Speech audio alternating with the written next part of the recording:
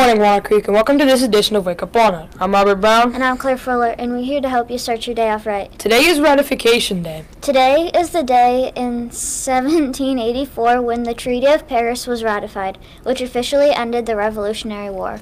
It's also National Dress Up a Pet Day. Let's stand for the pledge.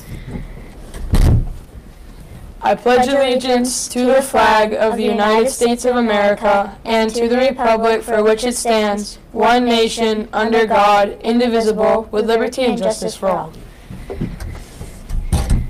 Any student interested in the American Legion Essay Contest can find contest forms in the office. Essays are due by February 21st. Any 8th grade student interested in honors college for their ninth grade year and missed the presentation on January 13th, please see Ms. DeCara for a packet uh, and information ASAP. Thank you.